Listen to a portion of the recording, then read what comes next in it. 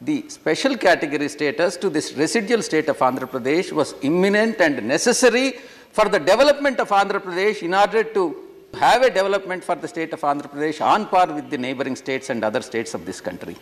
That was the reason why this special category status has been asked for, sir. Showing a reason that 14th Finance Commission has not accepted the, uh, especially has not, has prohibited the granting of special category status to the residuary state of Andhra Pradesh is totally unwarranted and unbelievable, sir, and not tenable in law.